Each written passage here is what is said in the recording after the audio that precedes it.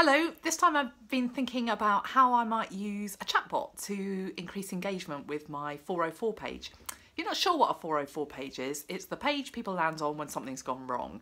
Um, usually because they've clicked on an external link and uh, either the link's been mistyped so it doesn't go in the right place or the link's fine but perhaps you've moved the page or deleted the page on your website. Either way, it's a frustration for your visitor and when people are busy, there's a tendency that they they might just think, you know what, I'm going to go elsewhere and get what I want. And that's something that I wanted to try to avoid on my own website. So I wanted to see if I could use Lulu, my messenger bot, to uh, increase engagement and turn that frustration into a conversation. So that's what I did. I uh, embedded a widget into the 404 page of my website. And now when somebody lands on that page, they can actually have a discussion with me um, via Messenger and almost instantly. So hopefully that keeps them on my site rather than deciding to go elsewhere.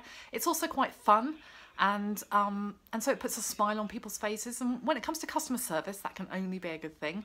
Anyway, tell me tell me what you think. I'd love to hear if you've used a messenger bot for your 404 page, or indeed if you've used a messenger bot for some other kind of marketing purpose or customer engagement purpose. Bye for now.